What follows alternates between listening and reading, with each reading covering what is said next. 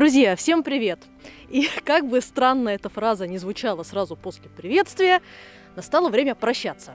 Но пока что прощаться именно с Езносом. Завершается мой жизненный этап, связанный именно с этим центром для иностранцев, именно с этим населенным пунктом, потому что в тот момент, когда у тебя уже появляется возможность зарабатывать, обеспечивать себя самостоятельно, а, есть, разумеется, резон уже а, слезать с казенного довольствия и жить э, самостоятельно. Тем более, повторюсь, опять же, такая возможность есть. Сегодня я хотела бы вам еще немного рассказать про наш центр, как мы здесь жили, что у нас происходило, как вообще были устроены наши будни. И тут такой возникает один щекотливый момент, наверное, сразу стоит его проговорить. А, я прекрасно понимаю возмущение налогоплательщиков, ежели эти возмущения имеют место, о том, что, может быть, в Езности мы слишком хорошо живем. А тут мне возразить нечего, потому что я, в принципе, человек аналогичных взглядов. Но тут, если, наверное, можно акцентировать внимание на парочке моментов. Первое, что, ну, тут я отвечаю только за себя, разумеется. А, лично я уже просовала в литовскую экономику столько денег, что, я думаю, скоро я уже покрою свое проживание тут. В принципе, сейчас я много работаю, зарабатываю, плачу налоги. Так что, скажем так, будем считать, я взяла в долг и сейчас отдаю. Вот этот центр наш в Езносе, он, как опять же мне известно, как мне говорят, а, сильно отличается от других центров для иностранцев в Литве. Чем он отличается? Это такой центр открытого типа. Ты волен уезжать куда-нибудь с ночевкой, путешествовать, работать. И, в принципе, по сути, это такое у тебя стандартное место жительства. И вот в чем здесь возникает самый главный плюс для таких людей, как я, для тех, кто приехал из России, Беларуси, и кто, допустим, здесь хочет остаться и как-то собирается интегрироваться в общество. Когда ты живешь не в изоляции, и когда перед тобой есть свободный, открытый мир, когда ты спокойно путешествуешь, работаешь, перемещаешься по стране, то твоя интеграция происходит намного быстрее. Ты больше общаешься с людьми на литовском языке. У тебя есть больше возможности изучать культуру и историю страны, которая тебя принимает. И в этом плане, безусловно, тот тип, к которому относится центр в Езносе, это только плюс для нашего обустройства здесь. Ну, а сейчас я вам покажу какие-то небольшие наши бытовые моменты, как мы закупаем продукты, куда мы ездили. И, в принципе, как здесь прошли эти без преувеличения, замечательные 9 месяцев моей жизни. Продукты у нас раньше закупались по понедельникам, теперь по вторникам. И утро закупки всегда начинается с погрузки коробок для провизии. Предварительно мы пишем список продуктов, и уже наши соцработники все это дело закупают. И в Езносе, насколько, опять же, мне известно, если я не ошибаюсь, э, несколько иная система, чем в других центрах для иностранцев. В других центрах э, дают именно деньги наличными, чтобы человек мог сам пойти закупить себе продукты. Но, видите, поскольку в реальности взрослых людей не существует. Э, бывали ситуации, когда человек просто идет, покупает себе чипсы с газировкой, и, и собственно, вот так он распоряжается этими средствами. А в Езносе удобнее, то что мясо, молоко, хлеб, все пишешь по секциям, и тебе привозят классные продукты. В этот раз я тоже еду за продуктами, посмотрю, как это все происходит. А пока мы едем, можно любоваться шикарными дзукийскими пейзажами.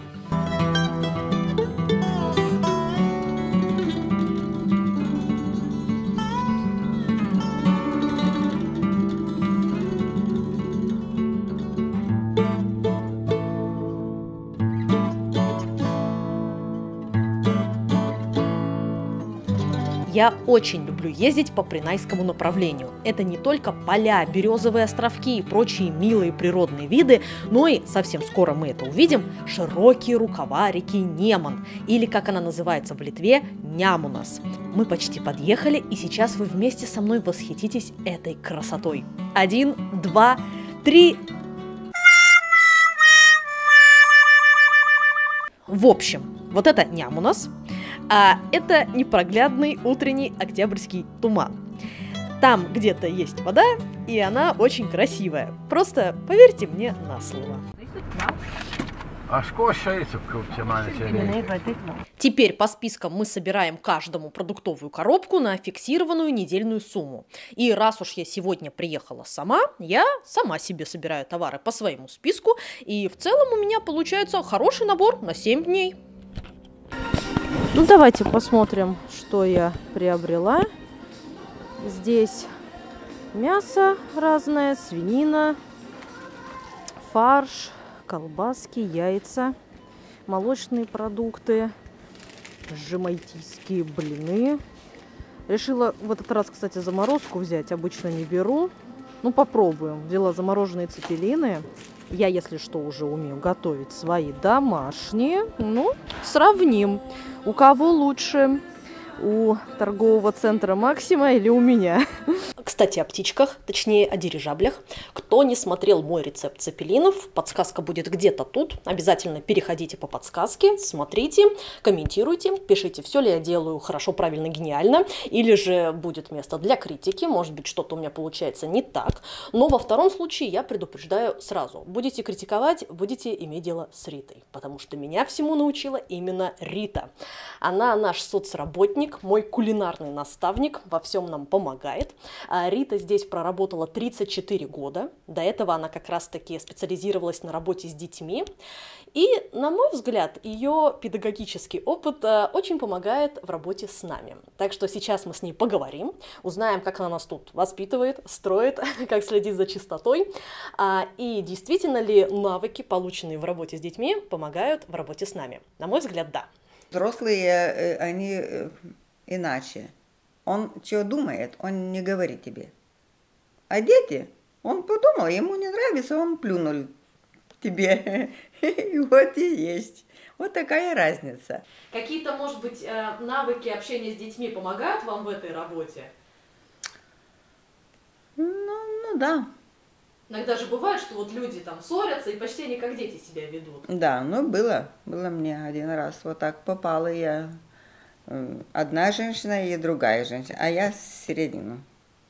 Ну, и они там ругались, как я думаю, не, не надо будет полиции или надо будет полицию вызывать.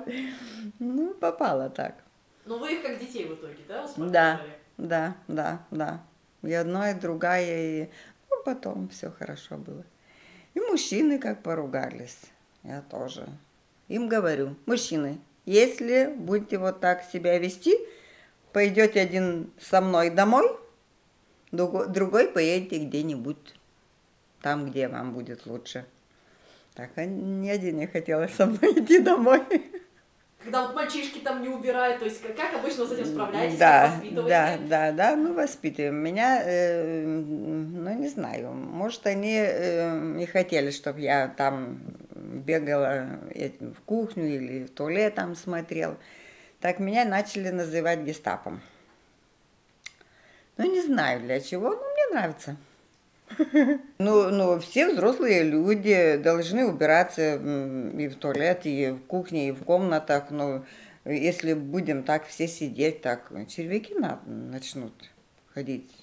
Друзья, как известно, чтобы червяки не ходили, не гуляли и вообще не выкрутасничали, должна быть в помещении идеальная чистота. И вот сейчас я вас познакомлю с человеком, который за этой чистотой очень ревностно следит. В следующей сцене у нас с вами будет два основных героя. Первое – это Наталья, и второе – ее роскошный украинский борщ. Только извините, пожалуйста, у меня все происходит это на столе, так как я не могу. Тоже была мысль борщ, что ли, Сейчас живу. А то поедешь неизвестно куда, неизвестно Я что. тоже теперь борщ хочу. Я думаю, мы, мы сегодня втроем, наверное, все наварим Ну, что-нибудь. давайте борщ. Потому что будем борщ это штука варить. заразительная. Давайте будем борщ варить. Помните, у нас был мальчик Витя, он вас называл Наталья Командоровна. Ну, Потому что Да. Наталья главная по порядку у нас. да, Если ну, кто оставил тарелку не там, он просто берегись. да, Так что ну, вот благодаря ну, Наталье у нас порядок, все нормально. Не холодно там от окна? Там вообще, у нас наоборот сейчас Овощи. жара. У нас прям вообще раскаленные батареи. У Сейчас нас жарко в комнате вообще. Да. Вот, ставь сюда, ложи. А по телевизору говорят, что мы здесь все замерзаем. Да, жара. Окна открываем. Да. Жарко. Что, что мы тут Ой, все ой, замерзаем, загниваем. Да нет, Э, у нас такого нет. Я приехала сюда, мы выехали, с, я живу в Краматорске, Донецкая область, это Украина. Мы выехали 8 апреля с, с- по поводу, э, когда начал, э, ракета прилетела на ЖД вокзал. И там жертвы были. Мы сразу в этот день уехали. Уехали, до Львова доехали, там были в центре. С центра нам ск- э, э, приехал автобус, э, ну, мы там неделю жили в центре, потом приехал автобус с Литвы, забрали нас и привезли сюда в центр. Я вообще боялась, я вообще не знала, что, что со мной вообще будет и, и где мы будем жить. Потом мы приехали в Принай, и мне с Приная сюда привезли. Раз, мигр- миграционная служба. Короче, привезли сюда в центр. И сразу меня поселили в комнату. В комнате мы живем с мужем. Комнатка небольшая, но уютная. В центре мне здесь очень хорошо живется. Здесь очень хорошие люди вокруг меня. Соседи хорошие. Света, Катя, вы с Сашей живут. Это мы. Да, Катюша очень хорошая девочка. Персонал тоже здесь очень хороший. У меня здесь условия для жизни очень хорошие. У меня здесь есть лифт. Все, ну, приспособ... все приспособлено для, для, для колясочников. А Света как раз пришла. Мы как Света, раз про тебя говорим, что ты Свет, очень хорошая. заходи, заходи, Да. Свет. Сказали про меня, что я хорошая девочка, и про тебя. Света притаилась. да? Вот и Света пришла. Я, может, и Света пришла. Мы все тут стеснительные. Я вот тоже. Здесь очень хорошие люди. Вокруг меня очень хорошие люди. Все. Я ничего не могу ни про кого плохого, плохого сказать. И мне очень помогает Ирен. Она мне помогает. Тут я здесь оформила уже литовскую группу. Она мне помогла с документами, потому что так как я не знаю литовский язык, мне очень тяжело в этом. Ну, Мне какие-то проблемы возникают, я обращаюсь, она мне всегда помогает.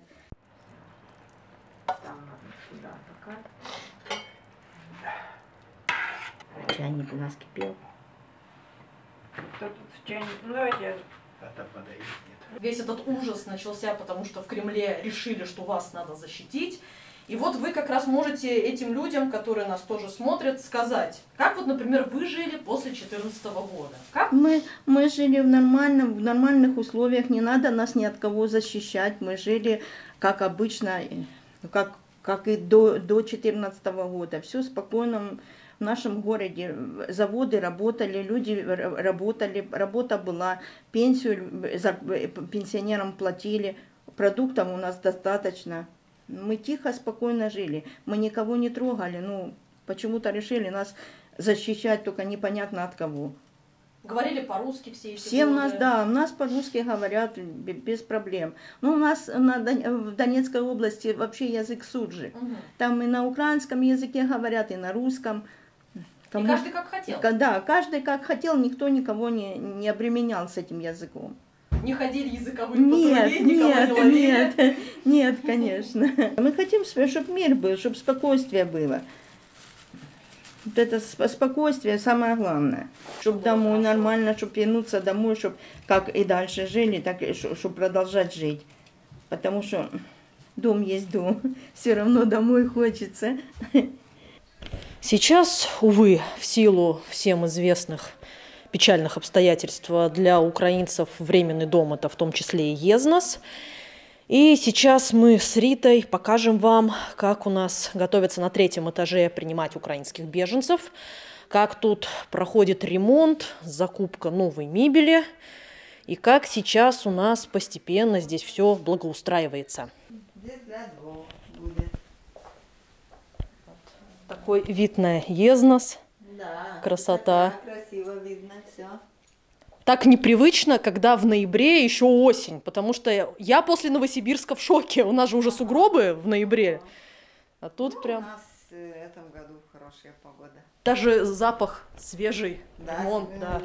а, мебель Свежей мебели, да. Краска свежая, пахнет. Ну и здесь вот еще может там новые. тоже. Вот здесь, да? Нет, нет, вот здесь. Новые тоже. М, Вот такой белую комнату.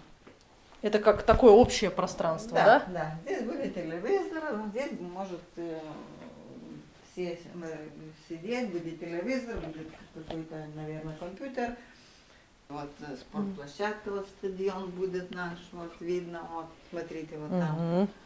футбол играть. кто хочет. Ой, Рита, честно, не верится. Просто не верится. Мы здесь прожили 9 месяцев практически. Так все пролетело быстро. Да, Как-то. быстро.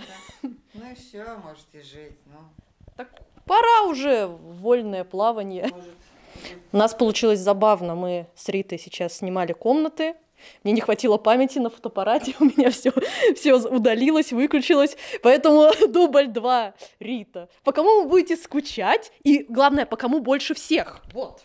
Ну, не знаю, все э, люди нам были хороши, но будем скучать по э, тем ребятам, которые нам больше помогали, которые работали здесь с, нами, помогали с мебелью всякой, и на улице, и там вот э, во дворе. И, ну, все, все нам одинаковые, все люди нам хороши. И с кем цепелины готовили?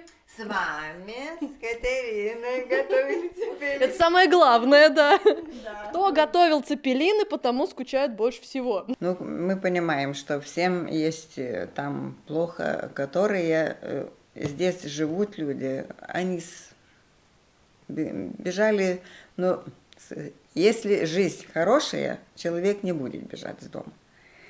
Ну и мы стараемся помогать им. Ну, не знаем, хорошо, нехорошо мы здесь им помогаем, но они пока относятся неплохо.